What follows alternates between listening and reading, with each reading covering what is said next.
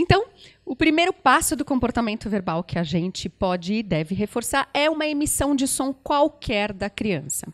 Então, a criança emite sons aleatórios quando ela está começando a balbuciar, a desenvolver a comunicação, e ela pode falar qualquer coisa. Então, por exemplo, é, ela pode falar e, e aí você pode dizer para ela, a mamãe, muito bem, mamãe está aqui e reforçar, dar o feedback para ela do modelo adequado do que ela do que você acha que ela gostaria de ter falado naquele momento. Então você repete depois que ela falou um som qualquer, reproduzindo como se ela estivesse falando aquilo que ela quer. E aí depois de um tempo a criança associa que, opa, toda vez que eu solto esse barulhinho aqui, que eu faço esse movimento, que eu faço essa coisa, eu recebo um feedback do ambiente, eu tenho algum retorno, acontece alguma coisa legal. E aí ela começa a emitir vários sons, vários sons, vários sons, porque ela associa a emissão de sons com um retorno, com um reforço positivo. Então, todas as vezes que a criança emite um som, para e dá atenção. Para e repete, Pare dar alguma coisa legal para ela associar como uma coisa positiva. Segundo passo do comportamento verbal: repetir o que a gente ensina. É diferente ecoar quando eu ensino uma coisa funcional do que fazer ecolalia. São coisas diferentes. Todas as crianças aprendem por essa via. Primeiro, elas uh, emitem sons. Então, vamos supor, é porque eu estou com um controle na mão. Então, eu mostro para a criança. A criança está doida para pegar esse controle. E aí eu falo para ela: você quer pegar esse controle? Eu estou dando a dica visual e dou a dica verbal. Então fala controle. Aí ela fala: ah, controle, muito bem. Se eu estou no passo 1. Um.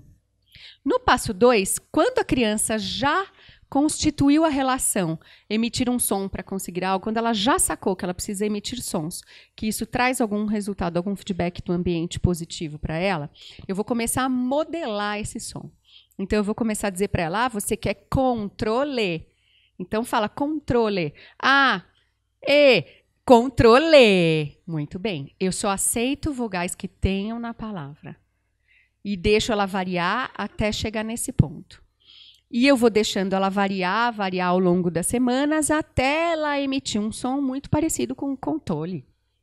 Exatamente. Mas, para a criança imitar um comportamento verbal, para ela repetir o que eu estou dizendo, ela precisa ter imitação. Uma criança que não imita no motor, não vai imitar no verbal. Por isso que uma das estratégias e um dos programas mais importantes na terapia comportamental é programa de imitação. É colocar a imitação dentro do contexto terapêutico. Imitação é importante. Primeiro, tudo a criança faz no motor para depois fazer no verbal. Só que para a criança fazer imitação motora, ela tem que ter contato visual. Por isso que os programas básicos são programas de ampliar contato visual. Percebe que está tudo interligado? Percebe que um contato visual simples é determinante na fala? Ela só. É falar do jeito que a gente está falando demora oito passos. Ela só vai fazer o básico do dois se ela imitar e se ela tiver um bom contato visual. E se ela discriminar bem os sons. O que, é discriminar os sons? Vocês já viram crianças deficientes auditivas que não ouvem? Se ela não ouve, normalmente elas também são mudas. Por mais que elas tenham a capacidade de falar, elas fazem ah, ah, ah. Por que, que elas não falam? Porque elas não processam o som no processamento auditivo central, no cérebro. Então, para modelar esse som, essa criança tem que ouvir. Então, um programa importante também é segmento de comandos. Os três anos e meio, quatro que você mencionou, é, é de vida ou de treinamento? De treinamento. Então, ótimo. Vamos para depois que isso está bem constituído, depois que a gente começou a mostrar para a criança e ensinar para ela como chamam as coisas e mostra para ele controle, controle, cadeira, cadeira. Ela repete, a gente começa a dificultar um pouquinho a vida dela para eliminar a dependência dessa dica. Então, até o passo 2, eu tinha a dica visual e a dica verbal completa. Quando isso está bem instalado, como agora no Guia está bem instalado, a gente pode ir para o passo 3, que é eu continuo dando a dica visual, mas eu Como eu tiro um pedacinho da dica verbal. Então eu digo para ele: você quer esse? Então como chama? Contro. Para ele completar. Um, dois, três e. E a gente vai tirando a dica verbal até chegar ao ponto de falar com ou k ou e não falo mais nada. Neste momento, eu estou no quarto passo, que é só dar a dica visual e a criança emitir o nome ou uh, o som referente àquilo. Que é quando a gente pergunta para a criança: o que, que, é isso? O que, que é isso? O que, que é isso? E a criança consegue nomear as coisas. Tá? Esse é o quarto passo. Depois que a criança nomeia tudo, e sai nomeando. Quando for uma palavra nova que a criança não conhece, eu volto para o passo 2, mostro como chama aquela coisa. Volto para o passo 3 para ela completar, até ela aprender e, consistentemente, só nomear tudo que eu mostrar para ela. Neste momento, no quarto passo, se a criança já tudo que eu mostro ou as coisas que ela conhece, ela nomeia sozinha, a gente vai para o quinto passo. No quinto passo, eu tiro mais um pedacinho da dica. Veja, eu não vou tirar nada radicalmente. Lembra do procedimento de aproximações sucessivas? É o inverso agora. Eu vou tirando aos poucos para não ter margem de erro. É tudo controlado. No quinto passo, até o quarto passo eu estava dando a dica visual, e no final do quarto passo eu tirei. E no quarto passo eu não dou mais a dica verbal, que é como chama. Né? Lá no terceiro passo a gente foi comendo um pedacinho da palavra até não ter mais palavrinha nenhuma. Agora, no, no, quarto passo, a gente já não dava mais a dica verbal, mas continuava dando a visual. No quinto passo, a gente tira a visual também.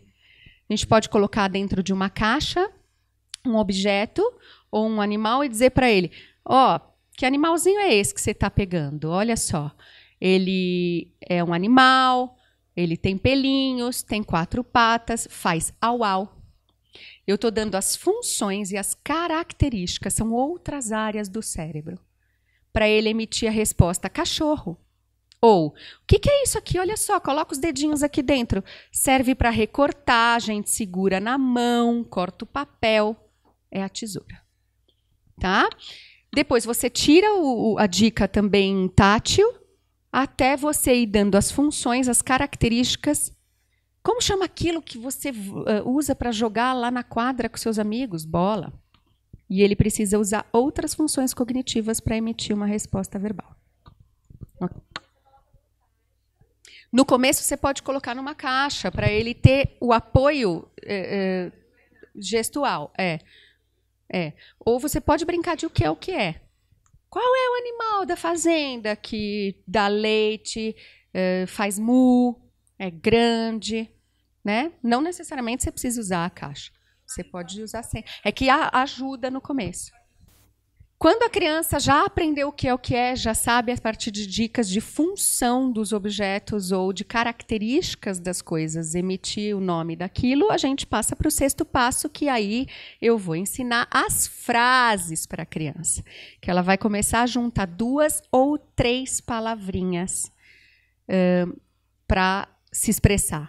Então, frases, como é que a gente faz? Eu coloco aqui a foto de um menino, a foto de um chute e a foto de uma bola.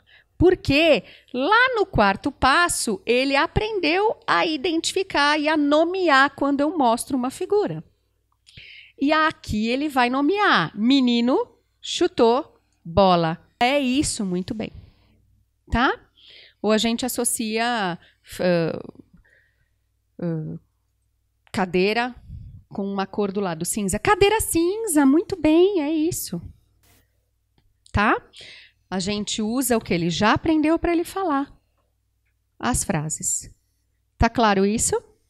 O sétimo passo, depois que a criança começou já a juntar as palavrinhas, identificando, a gente começa a apresentar uma figura com tudo isso reunido. Então, por exemplo, aqui, ó, aqui tem uma menininha caída uma bicicleta caída do lado e ela machucada com uma carinha de dor. Para a criança dizer a menina caiu da bicicleta, ela tem que ter feito esse passo antes. Para ela entender que aquilo é uma carinha de dor e o acontecimento, ela tem que ter feito esse passo antes. para fazer essa identificação, ela tem que ter feito esse passo antes. Vocês percebem que uma coisa é dependente da outra? Não é óbvio isso? E o que, que a gente faz geralmente, que é o que eu estava fazendo lá no, na minha viagem, no dia que convocaram aquela reunião extra lá? Mostrando uma figura assim, esperando que a criança já falasse do sétimo passo. É isso que a gente faz. Tem um monte de fono que faz isso. Começa a mostrar um monte de imagem assim. Não respondeu. Claro que ela não respondeu. Ela não criou todas essas milhares de outras sinapses antes. Faz sentido? Quando a criança começa a inter... mostro cenas e a criança começa a uh, realizar essas inferências, já saber tudo o que está dentro dessa figura, são mais alguns meses, aí então a gente passa para o último passo, que é o relato de eventos passados. Porque quando eu pergunto para vocês o que vocês tomaram de café da manhã hoje de manhã, não vem um filminho para vocês decodificarem na cabeça, vem uma imagem dentro da memória. Até o sétimo passo, a gente tinha essa imagem num, num papel ou numa, numa tela ou em algum lugar. A partir do oitavo passo, isso está dentro da cabeça, você não tem mais no material concreto. E aí a criança precisa, dentro da cabeça dela, se eu pergunto o que, que você tomou de café da manhã, ela precisa, dentro da cabeça, inferir e decodificar. Eu tomei café, comi pão e comi bolacha. Maíra, pode acontecer criança tá meio com, com os níveis misturados, digamos assim? Sim, normalmente elas estão em três passos ao mesmo tempo, assim. Ah, Fiquei mais tranquila, então. Porque, assim, é, é, me parece, né? No caso do meu filho, que ele está entre o 5 é. e o 8. Assim. Mas ele faz algumas não, coisas não, de 7, ele faz algumas coisas de 6, é. mas ainda o 5 não está perfeito. Não completamente. Isso, exato, exato. Isso, é, ou, é eu, normal. Ou eu devo insistir num passo. Não, não, você pode. Você, a base do enrosco está sendo 5. Por isso que ele não foi totalmente para os outros ainda. Então você não pode não, deixar de fazer o 5. Ele conta evento passado. Assim, mas é, ele não conta todos. Ele isso. conta o que ele quer, né? Isso. Porque o relato de eventos. Isso é importante. O relato de eventos passados ele é um comportamento social. Ele conta porque a gente quer saber, porque a criança já sabe. A criança já. Ele conta para satisfazer o outro. Então, como o prejuízo no autismo é um prejuízo social, esse passo é o mais difícil de todos de se instalar, porque ele faz pelo outro.